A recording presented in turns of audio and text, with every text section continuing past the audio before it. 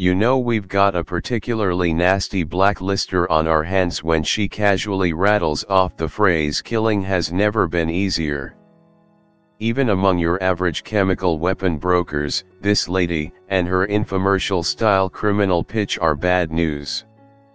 So you may be asking yourself, why is this chemical Mary such a cruel level bad?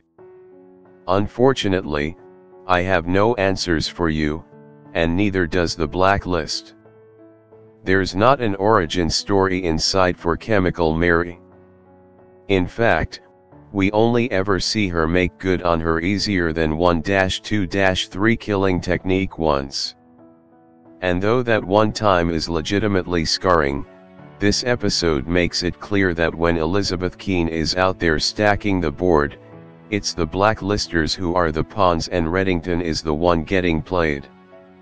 Sort of, kind of, depending on who you ask. Don't get me wrong, it's definitely fun to watch the slow coming together of an elaborate plan that involves youth hostels and near plane crashes, and honestly, more vital thumb drives than I ever could have imagined. But in the end, it's all kind of just complication for complication's sake. I think we're ultimately meant to understand that Liz is replicating a Reddington-like approach in order to make her eventual victory over him even more delicious but we're also supposed to believe that she's still not bad, because she's not using these blacklisters for their originally intended bad purposes. It's just a little hard to buy given that Liz has never, ever been this savvy, although I guess with $40 million, you really can buy almost anything, including savviness. And call me a prude, but risking 160 lives in a plane crash that was avoided by seconds still seems pretty bad to me but I'll let you be the judge of that one. Chemical Mary, no. 143. I've told you about the most fun parts of this episode, so now let me tell you about its least fun moment, the murder of an unsuspecting pig. We meet Chemical Mary as she checks in on the newest chemical weapon she's developing, a nerve agent that incapacitates any human's muscles, lungs, and heart with nothing more than a single touch or inhaled droplet. It's odorless, invisible, and lasts for days on any hard surface. To reiterate, killing has never been easier, and I super hope the task force can stop Chemical Mary sooner rather than later. Luckily, Dembe recently made a trip to Bosnia and discovered that last week's translator was used by Liz to hire a bounty hunter who she then tasked with finding this chemical Mary an MIT professor turned chemical weapons dealer who the US government has been unable to locate for seven years. Reddington doesn't quite know why Liz would require the services of a chemical criminal, but he knows to what end, she wants to break me, and then kill me, and I think it's safe to assume she's using the freelancer and chemical Mary to accomplish that. While Reddington tracks down the freelancer, the task force focuses on Mary. Her last known whereabouts were in 2013, when she was delivering a shipment of sarin gas to Assad forces that was intercepted by the US military, and her entire convoy was blown up. Mary escaped, and only one person from her security team survived. Ressler and Park take a whole trip to Turkey to talk to this guy, but he gives them nothing. Luckily, Aram exists to crack all codes, make all connections, and find all chemical criminals. He points out that the man Ressler and Park spoke to was severely burned from the convoy explosion, and it stands to reason that Mary would have been too, and would have had to get undocumented medical attention in order to survive. So Red checks in with his network of dirtbag doctors without borders, thank you, Ressler, for adding that little phrase to the warehouse Pidal canon, and finds out the identity of the doctor who treated her after the burns. Aram hacks those medical records and runs a photo of what Chemical Mary looks like now through the Interpol database. And comes up with six known passports, the most recent of which was used to fly from Paris to Albania. Meanwhile, Reddington corners the fancy lawyer Scooter, never forget who represented the freelancer, and is able to track him to the youth hostel where he's hiding out after performing the job Liz got him out of prison for. But after a bit of confusion, the freelancer informs Reddington that Liz didn't hire him to kill Red she hired him to kill Chemical Mary. As you'll recall from 158 episodes ago, the freelancer's bit is disguising his murders behind what would otherwise appear to be everyday tragedies. You know, like a plane crash. Earlier, we saw the freelancer working as part of a flight crew and sneaking off to tamper with some kind of panel inside a plane, a plane we now know Chemical Mary will soon be boarding to fly back to Paris.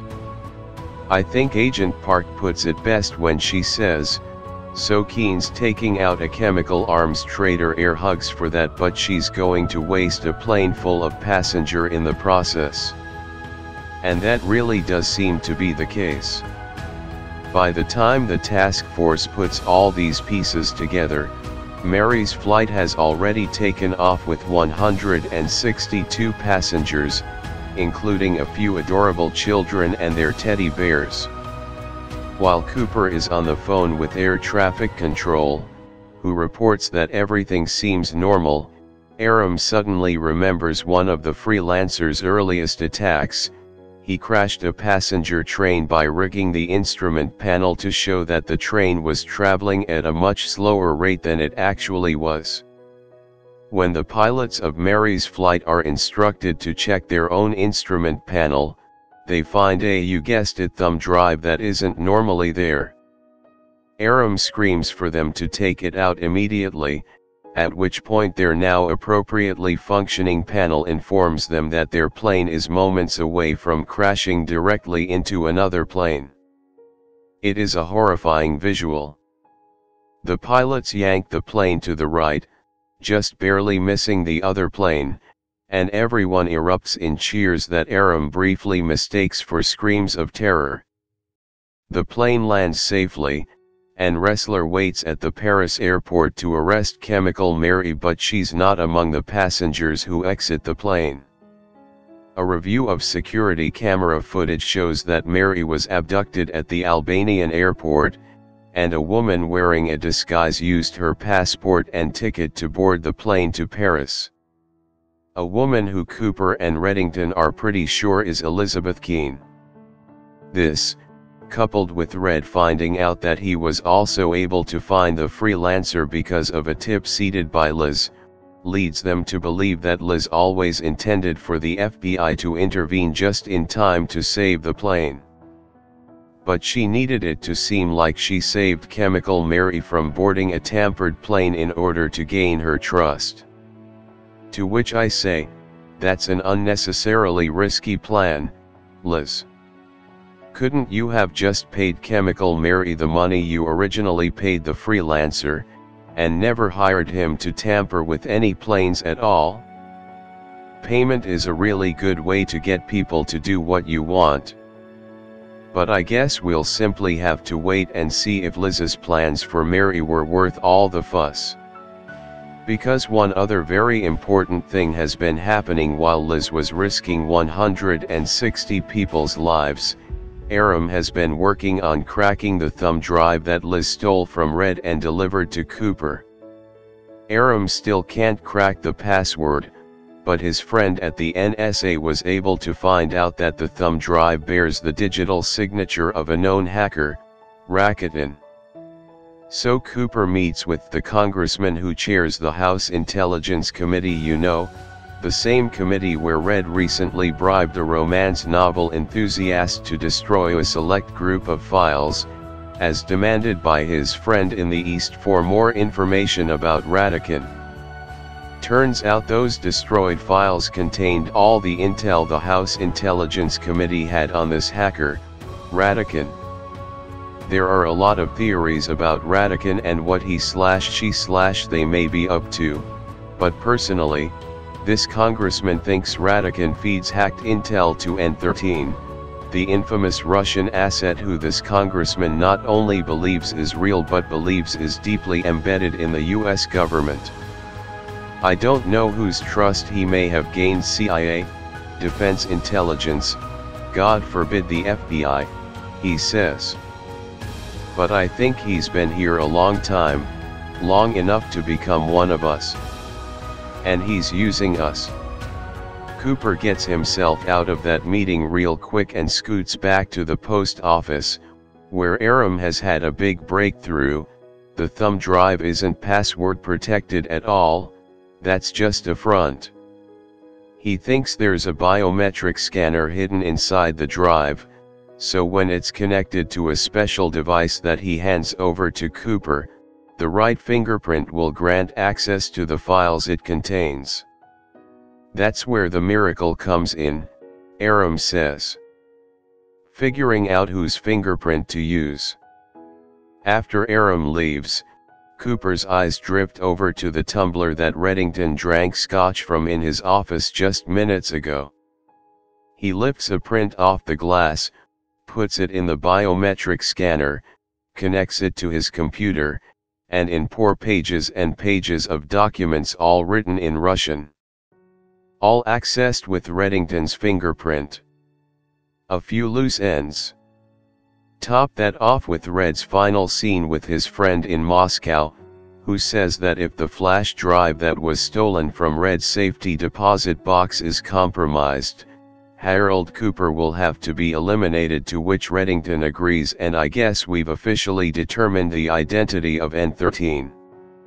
What determining the identity of N13 really means, is still up for debate.